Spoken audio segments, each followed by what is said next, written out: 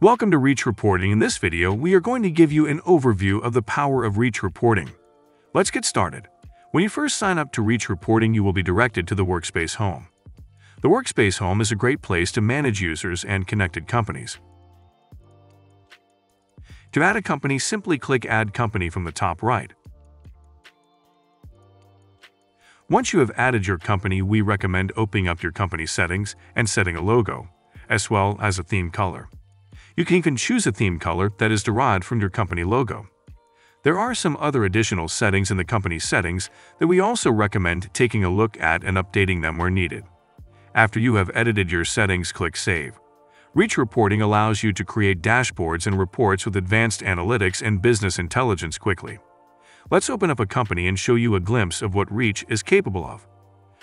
Once you open the company, you will notice a couple of different output options, such as dashboards, Reach reporting also has a couple of different input options like budgets and sheets. Sheets allows you to bring in even more data that might not be in your bookkeeping software.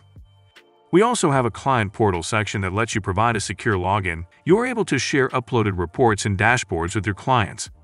Beneath the client portal, you can also access your company's settings from within the company, as well as see the last time synced or even force a manual sync.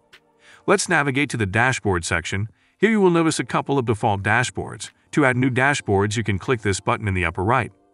You will see the variety of Reach templates that you have access to.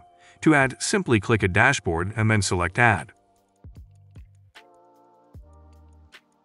Let's go ahead and open this dashboard here. This is one of the dashboards that has already come pre-built, so it is going to pull in our data as well as our chosen theme color. At any point, you can edit any one of these metrics by selecting the menu and choosing Edit. This will always open up a new tab to the Metric Builder. Within the Metric Builder, you can add additional rows and columns of data, as well as blank rows or columns to input formulas. Reach Reporting also uses similar formulas to Excel as you can see here. Once we have the data above the way we want, we can choose the output we want the data to be in below by changing the chart type.